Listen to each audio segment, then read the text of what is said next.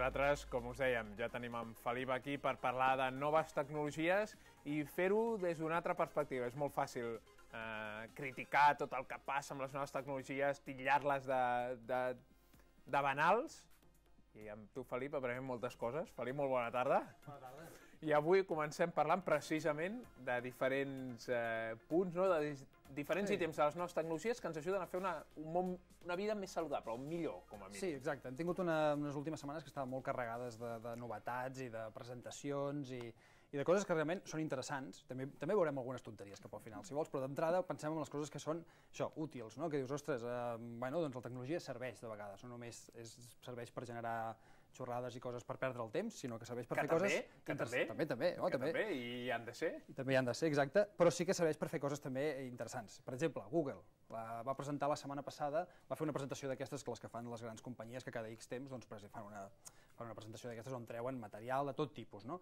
Del més interessant que va presentar són les Google Lens. Bueno, les Google Lens no, el Google Lens, de fet, que és això que estem veient aquí, que és una càmera intel·ligent. És agafar la nostra càmera, que al cap i a la fi són els ulls del nostre mòbil i el del, dels, de les tauletes, i donar-li una mica més de sentit, deixar-li fer coses, com per exemple, doncs, això mateix, que això és molt divertit i va ser molt aplaudit, que és, has d'anar a posar la contrasenya del, del, de la wifi de casa, i has de començar a posar majúscules, minúscules, no, no, no, amb la càmera, la càmera és capaç de llegir el text, és capaç de reconèixer la imatge, i ell automàticament et posa la contrasenya en el wifi de casa.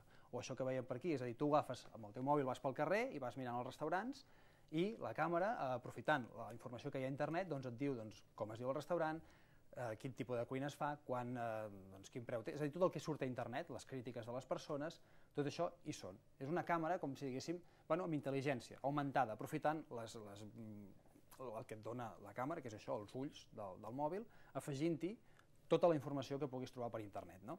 La primera que vèiem al principi, per exemple, era eh, doncs, una planta. Tu li fas una foto a la planta, o més que fer-hi una foto, li ensenyes una planta i la, la càmera és capaç de reconèixer la, la imatge i dir-te, doncs mira, aquesta, aquesta flor és tal tipus de flor.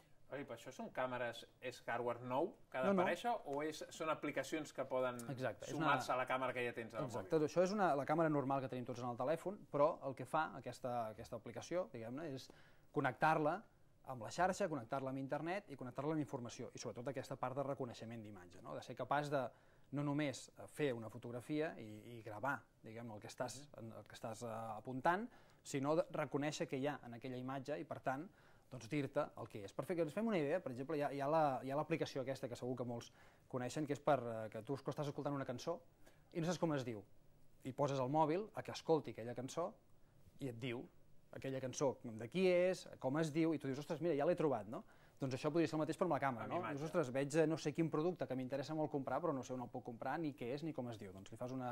li ensenyes a la càmera i la càmera és capaç de dir-te, doncs és això, ho pots trobar a la teva botiga que la tens a dos carrers, etc etc. És donar-li aquest punt de dir, bueno, són uns ulls i per tant donem-li informació, linkem-ho amb internet i a partir d'aquí, eh, bueno, amb el nostre mòbil podem fer moltíssimes altres coses, més coses de les que fem ara, que és bueno, gravar-nos, fer-nos selfies i penjar-les a la xarxa, no? Penjar-les des del mateix mòbil. Exacte. També. Uh, un altre del... Això és una de les uh, notícies que ens volies portar d'aquestes, de les novetats que ens faran la vida més fàcil. Un altre parla sobre el Parkinson. Sí. És sobre el Parkinson. un, una, un invent, és un invent, de fet, que és, que és molt, molt interessant. És, una, és un invent, un projecte de Microsoft que es diu Project M, i el que fan és que eh, han creat un rellotge, un wearable, que es diu, que és aquestes, aquesta tecnologia vestible, eh, aquesta mena de, bueno, doncs un smartwatch o un, uh -huh. o una, un rellotge d'aquests que és capaç de comptar-te els passos i la, i la freqüència cardíaca, aquestes coses, però per permetre que les persones que tenen Parkinson puguin escriure, puguin tornar a escriure. Clar, el Parkinson és aquesta malaltia que genera uns tremolors, no? i per tant és molt difícil. Imaginem-nos una persona que té Parkinson que si li està movent constantment la mà no pot escriure, o el que escriu és il·legible. Doncs han ideat un, una, un, un, això, un wearable, un, un, una mena de, de rellotge que permet a aquestes persones tornar a escriure. Llavors es diu Emma perquè, eh, per una noia, per una noia que és dissenyadora gràfica i que si voleu podeu veure el vídeo de com ella torna a escriure amb aquest, amb aquest producte. Doncs va, anem-ho a veure. Vinga.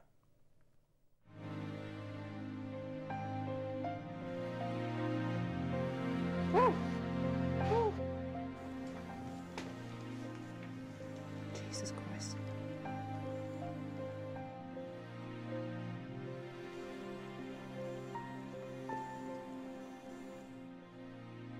my god. it makes me forget that I have a tremor.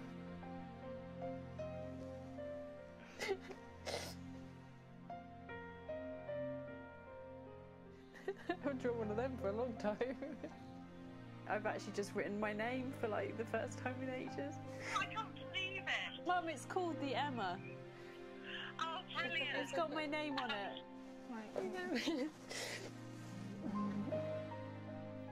Déu-n'hi-do les imatges i, i a la frase que deia he escrit el meu nom per primera vegada després de molts anys.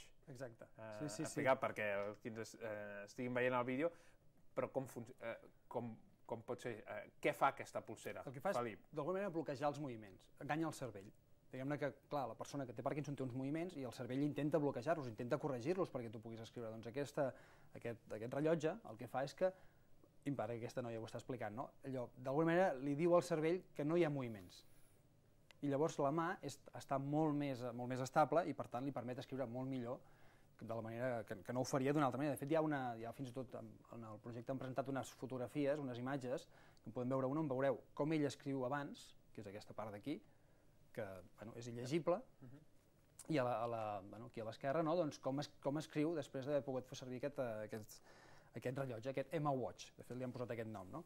I clar, realment és el que dius, tu, és, molt emocionant veure que, que la tecnologia et permet fer aquestes coses per una noia jove, que és a més dissenyadora gràfica, que per tant, és a dir, treballa amb el seu art i amb, i, i amb, amb dibuix, no? I amb, per tant, per ella és molt important no? poder, poder escriure o poder dibuixar, i deia això, no? Dius, feia molt de temps que no dibuixava un quadrat, o fa anys, no? Truca a la seva mare i li diu, Estic escrivint el estic meu escrivint el meu nom i feia anys que no podia escriure el meu nom, no? I li han posat Emma Watch per mi, no? Perquè porta el meu nom.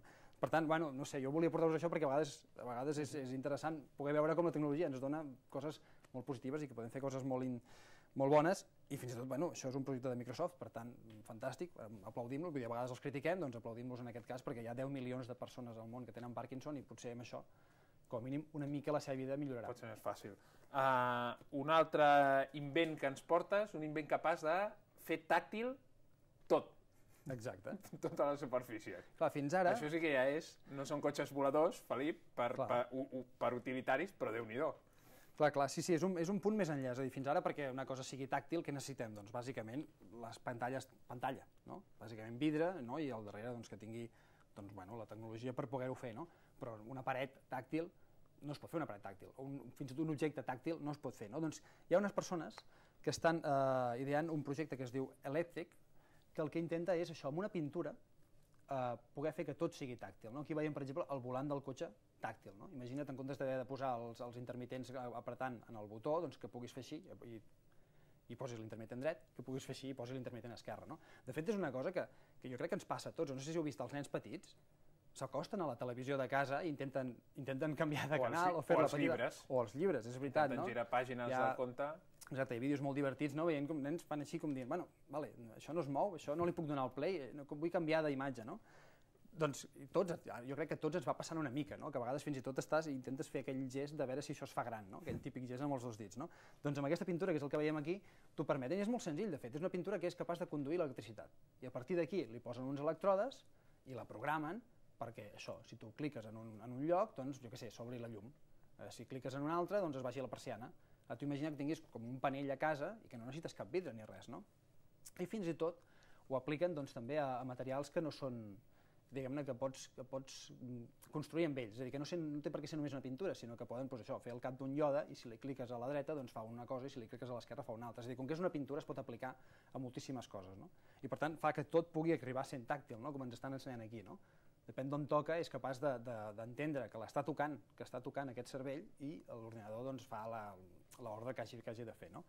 Per tant, bueno, potser en un futur sí que veurem que, que tot és tàctil i no ens caldrà anar tenint pantalles. A dir, no ens hem d'imaginar una casa plena de vidres per poder Per tenir aquestes pantalles, sigui sinó tàctil. que probablement tindrem la, tot serà tàctil d'una manera molt més senzilla i molt més orgànica, diguem molt més natural. No? Aquestes són aquestes tres invents que ens has portat, aquestes tres notícies. Felip, eh, també el que volíem parlar era una mica de... eh, En les últimes setmanes s'ha parlat d'aquest eh, super ciberatac que ha passat que, que a tot el món, que havia passat i... Què, què era exactament? Realment n'hi havia, n'hi havia per tant, amb tot el que Home, es va anunciar? Déu-n'hi-do. De fet, és el primer cop, així a gran escala, que s'aplica el que és un ransomware. Un ransomware és, no és ben bé un virus, diguem-ne. D'acord? No és el típic virus que t'infecta l'ordinador i te l'inutilitza o el que sigui, no, és un, un virus que el que et permet és...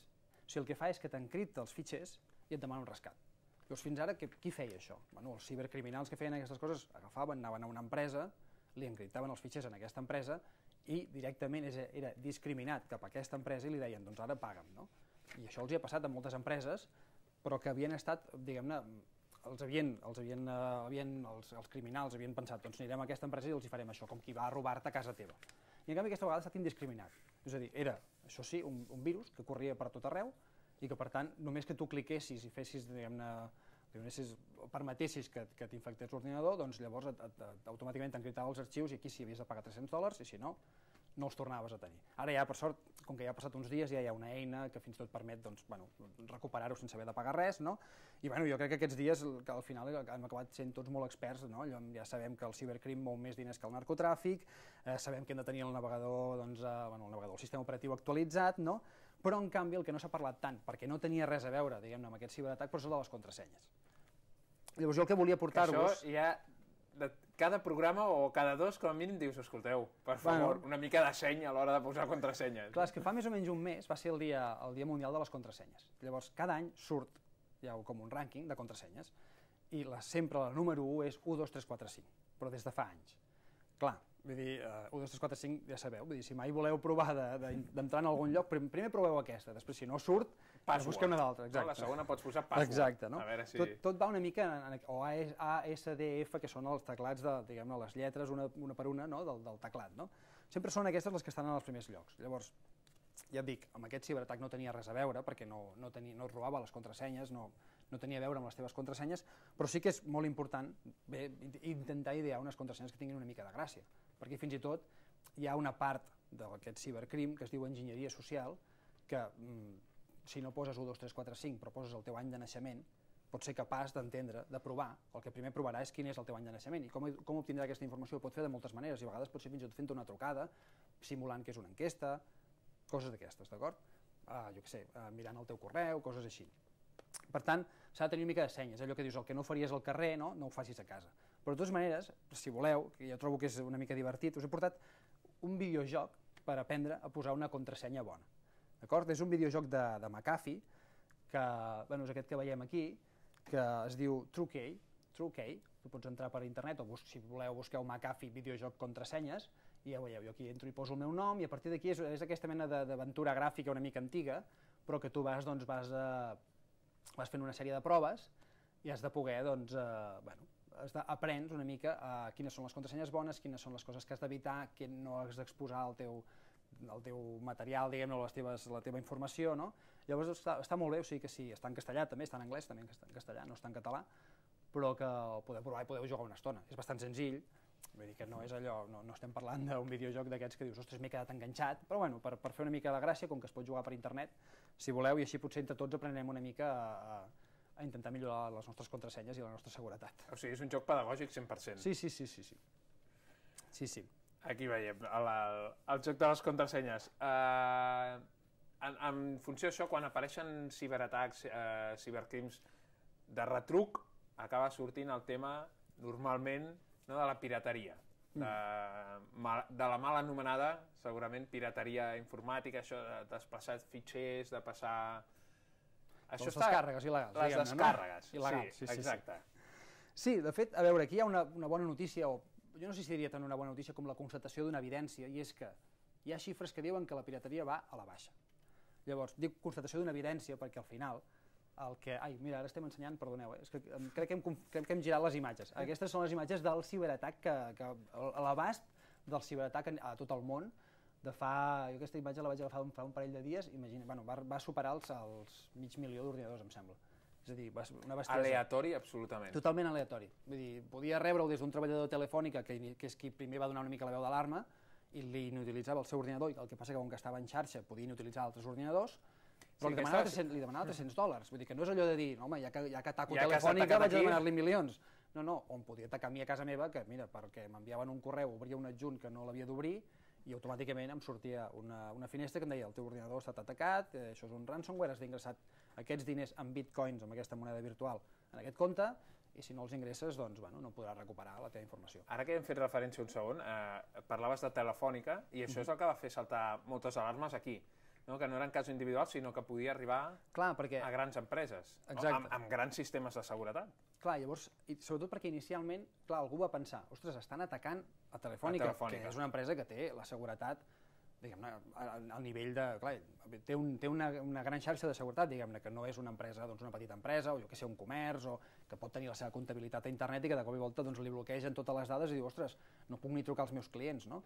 que és bàsicament els problemes que et podies trobar. Llavors, inicialment semblava que Telefònica era el gran, la gran víctima i dius, home, si li han fet a Telefònica, o fins on poden arribar? Poden arribar les dades als usuaris de Movistar, a la gent que té internet a casa seva, etc etc. Després es va veure que no, que hi havia altres era empreses, random, que absolutament. bàsicament era això, no? doncs, per exemple, que li va passar el servei de mèdic de, el dels hospitals del, del Regne Unit, que també va ser atacat, que clar, de cop i volta et bloquejava l'accés, ja no sé quan tinc ni on són els pacients, ni puc accedir a l'historial dels pacients, ni puc eh, doncs, saber quina, quines consultes li toca a cadascú, des de coses tan senzilles com, escolta, que tenia hora per avui, doncs no et puc dir quina consulta vas, a coses més complicades com que t'arriba una urgència i no pots accedir a l'historial perquè el tens encriptat. No? Però no, és això, no va ser eh, allò directament contra ell, sinó que era en general, i alguns treballadors, algunes persones van obrir, per desgràcia, van obrir això i clar, va començar a estendre's. No? Eh, tornem un segon a la, Tornem a la pirateria, a la si vols. pirateria. Sí. No, deia això, que, que, bueno, que hi ha un parell d'indicadors que diuen que, que va a la baixa. Que la baixa bàsicament, que això, diguem-ne, complementen l'indicador de va a la baixa bàsicament perquè els continguts de pagament van a l'alça.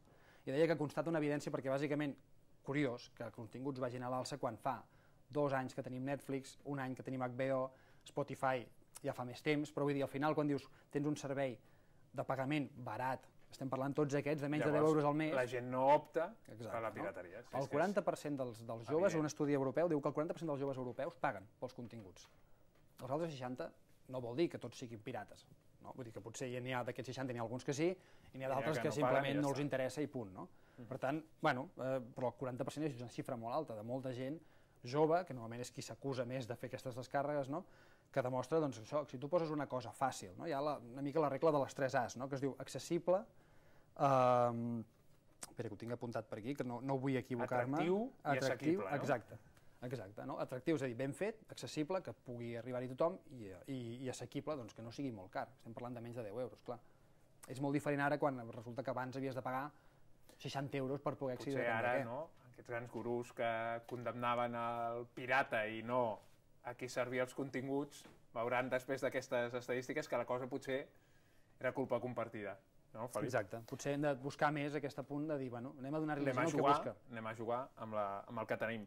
I algú que ha jugat i molt eh, és, i això sí que m'ha semblat espectacular aquesta dada quan l'has portat, parlem de tuits i retuits al voltant de Wendy's, de, de Wendy, d'un- d'una empresa nord-americana, i de com ha sabut jugar tant el client com l'empresa una miqueta ha sabut jugar amb les noves tecnologies. I tant, mira, hi ha, una, hi ha un noi, un noi que es diu Carter Wilkinson, de Nevada, que ara mateix té el rècord de retuits al món, 3,6 milions de retuits, superant, I, i això va eh, amb la... Amb la... superant el mític selfie de Aquella selfie, l'Oscar. no, dels Oscars? Que clar, aquell selfie primer el fa Ellen DeGeneres, que és una persona coneguda als Estats Units, i segon el fa en els Oscars en directe i diu, ei, vaig a fer-me una selfie. Per tant, tothom sabia que se l'estava fent, no? que és aquesta que veiem aquí. No? Doncs aquest noi, Uh, un dia se li va acudir, bueno, deu ser un fan dels nuggets o d'aquestes mena de, bueno, d'aquestes coses que Pollastre se suposa que porten pollastre, no? doncs doncs uh, li va preguntar a Wendy's, que és una, que una cadena, que és aquest tuit d'aquí, una cadena de, de menjar ràpid americà, no? tipus McDonald's, per dir-ho d'alguna manera, de fet gran competidor de McDonald's, escolta, quants retuits necessito perquè em doneu un any, un any, no tota la vida, un any, de, uh, de nuggets d'aquests gratuïts. I uh, Wendy's va contestar 18 milions. Clar, 18 milions de retuits, ja diem, la Ellen DeGeneres va aconseguir 3,4, o sigui, era una quimera, un impossible. Clar, ell, bueno, no sé, no sé si amb molta visió els hi va contestar, ui, dona-ho per fet. I a partir de llavors va fer un tuit dient, escolta, necessito ajuda, senyors, necessito ajuda perquè necessito 18 milions de retuits perquè Wendy's em doni uh, les meves, els meus nuggets gratuïts durant un any.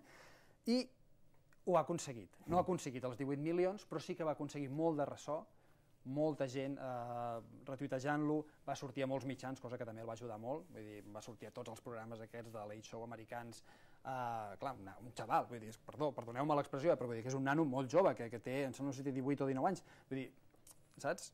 Molt jove, però bueno, amb aquesta gràcia va aconseguir 3,6 milions. I aquí Wendy's... al fi- 3,6 milions, és que ho diem molt S'ha ràpid, s'ha però... aturat aquí. Ja, jo ja, o sigui, vaig mirar fa una setmana i era 3,6 i avui torna a ser 3,6. Però perquè ja, ja ha aconseguit l'objectiu, perquè Wendy's al final li va dir, bueno, segurament els 18 milions no els aconseguiràs, però tu has guanyat. Tu has guanyat perquè, clar, era un noi que tenia pocs seguidors a Twitter i de cop i volta ha estat un boom i ara si el busqueu, doncs, bueno, té molts seguidors i, i, i sobretot ha tingut molts retuits, per tant, ha aconseguit aquests nuggets de, i a més a més ha aconseguit fins i tot una donació de 100.000 dòlars eh, a una fundació per l'adopció. De Wendy's. Exacte, que aquesta és la part que deies tu, no? Vull dir, això és una bona... Aquí és quan veiem, aquest és el noi, aquest és el noi que veu, és un noi molt jove que, que ha aconseguit, bueno, bàsicament, amb aquest hashtag Nax for Carter, ha aconseguit doncs, un rècord històric que ja veurem qui el trencarà, no? I a més a més, el que deies, no? hi ha una coeta amb tota aquesta història que Clar. Wendy's, a més a més, eh, aporta eh, 100.000 dòlars. 100.000 dòlars a una fundació per ajudar, bueno, per ajudar l'adopció de nens que necessiten doncs, uns pares, no, diguem-ne. Uh, clar, això realment dius, bueno, molt bé per aquest nano, però també molt bé per Wendy's i pel community manager de Wendy's, és a dir, la persona que porta les xarxes socials de Wendy's que realment uh, bueno, està aconseguint molta repercussió, no només per aquest cas, sinó per d'altres uh, casos que ha tingut últimament, que jo no sé si, si coneixeu el, el, el, el community manager que hi havia de la policia, que se'n va parlar molt, la policia espanyola, d'acord? Hi ha un que és arroba policia, doncs, bueno, és molt directe, és molt divertit, és, és molt, molt desinhibit, no? No, no gens oficial. Doncs Wendy's està aconseguint una mica el mateix, que és allò de dir, ser molt directe, ser eh, fins i tot sarcàstic de vegades, ficant-se en McDonald's, ficant-se amb la competència obertament, però amb històries com aquesta, clar, el que està aconseguint és fer-se un nom i, i bueno, doncs bàsicament que la gent li caigui millor. Per tant, tenim les dues bandes, el noi ha guanyat, però segurament l'empresa també, perquè ha aconseguit publicitat. Perquè i ha el- aconseguit jugar amb el que, Exacte. amb el que tenia amb les mans. normes de la xarxa que normalment són una mica diferents de les que tenim a la realitat. Que exacte, i que quan no les entenem eh, Sí, sí, la gent pots- s'hi oposa de exacte. seguida, no? Doncs Quan, sobretot quan et veuen artificial, perquè quan tu veus algú artificial dius, bueno, no? Fora. doncs a la xarxa és el mateix. Uh, secció final, una habilitat curiosa ens portaves avui. Sí. Ens deies, Samsung contra Apple, Fent rap, fent rap. que va més enllà i tot. Sí, sí, sí, perquè uh, Samsung fa poc va presentar el Galaxy S8 i amb aquest Galaxy S8 hi ha el seu uh, assistent personal, que és aquesta cosa com el Siri, diguem-ne, eh? aquest, aquest assistent, aquesta, que tu tu cliques i li preguntes coses i et contesta, no? un assistent de veu. Es diu Bixby, Bixby, perdó. Doncs Bixby, sa- Bixby sap rapejar. I ara, si voleu, podem veure un vídeo del Bixby rapejant o sentir-lo. 올드스쿨 랩을 들려드릴게요. 원포 더 빅스비, 투포 더 쇼, 쓰리포 더다 같이 힙합.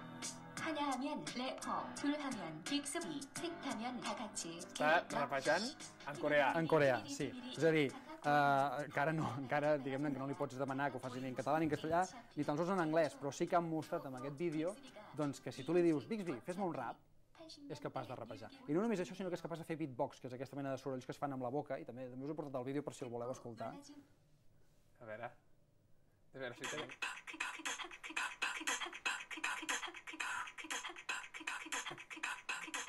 Això ho fa dient-li, Això eh? ho fa l'assistent de veu. Tu li demanes, de veu. fes-me un beatbox. I ell... Això, eh, estàs a això, casa i exacte. dius, vull, vull sentir un beatbox. Això seria una mica l'altra cara del que, del que comentàvem al principi, és a dir, la, la tecnologia que ens serveix per fer coses i en canvi la, tec la tecnologia que serveix per fer xorrades, però bé, és veritat que si tu mires des del punt de vista de, de Samsung, doncs que l'assistent personal sigui capaç de rapejar amb certa naturalitat, home, doncs, doncs és, un, és una bona manera de demostrar que estan que, el seu, que, la, que la veu, diguem-ne, no és robòtica, per exemple, no? Llavors, és a dir, per ells és una millora, però tu mires des de fora i penses, bueno, això és una tonteria, no? Bueno, no és tan tonteria perquè els fans d'Apple reaccionen. Home, clar, hi ha molta gent que és molt fan d'Apple i llavors hi ha hagut uns que han respost fent un, un rap de Siri, que també el podem escoltar si voleu. I veieu que aquest està més, aquest està més, més ben fet. Checking. Here's what I found on the web. Kick it. Some of the busiest rhymes ever made by man are going into this mic, written by those hands, are coming out of this mouth. Sí, però aquest té this trampa, tongue. aquest està editat. És a dir, hi ha, unes, hi ha unes persones, uns productors que van agafar i van agafar frases de Siri i la van convertir en un rap. diguem. Per tant, no ho fa de forma natural. Si vosaltres ara aneu al vostre iPhone i li dieu Siri, fes-me un rap, no Et us farà dirà, un rap. mm, Us ho vaig a buscar a Exacte. Wikipedia. Et dirà, això és el que he trobat per rap a internet, que normalment és el que t'acostuma a respondre quan no t'ha entès del que li vols dir. O, perdoni, no l'he entendido, que és un altre, no? Eh, I ja està, ja veieu que, que, els, que ben aviat potser no caldran ni rapers ni res, perquè bueno, les màquines ho poden fer tot. I déu-n'hi-do, i déu-n'hi-do.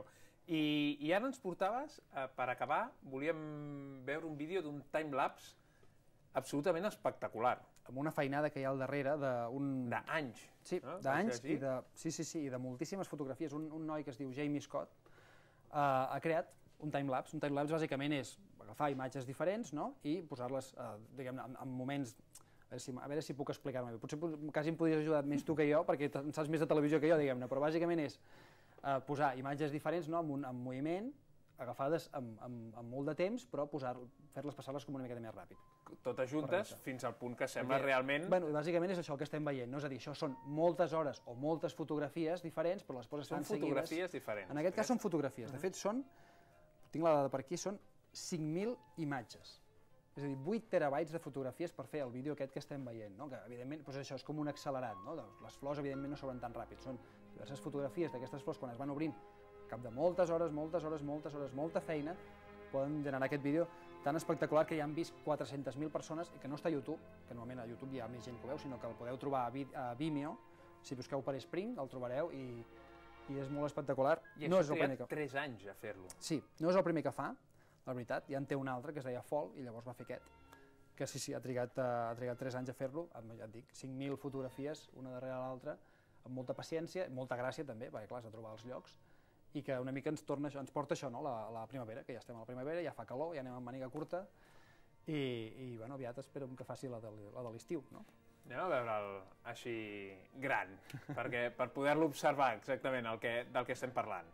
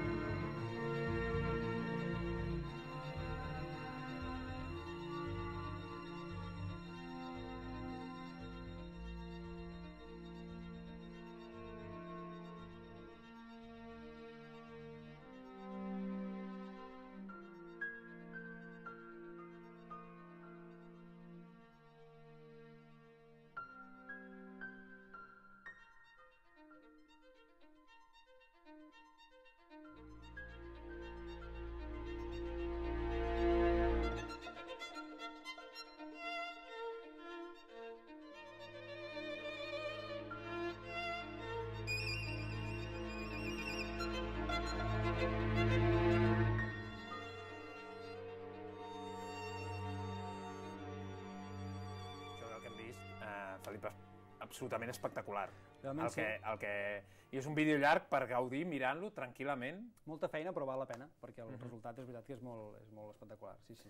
I ara eh, recuperem un moment allò que dèiem abans dels tuits del Wendy, que ara ens comentaven els nostres companys, que deia, després dels atemptats de Manchester, per exemple, la revista de moda eh, Terba feia un tuit on deia, després dels atemptats del que ha passat, anem a veure les diferents looks que ha lluït la cantant en els, en els darrers eh, mesos, en els darrers anys. Una manera, eh, si abans dèiem com Bueno, un ficar-te de community manager pot jugar amb tot això, una manera d'espifiar-la del tot. Totalment, perquè aprofitant uh, una mm, notícia que, que, que passa ara i que és molt greu, clar, no, no, és a dir, explica-ho d'una altra manera, o guarda-t'ho uns dies, però evidentment no ho relacionis amb els atemptats. No?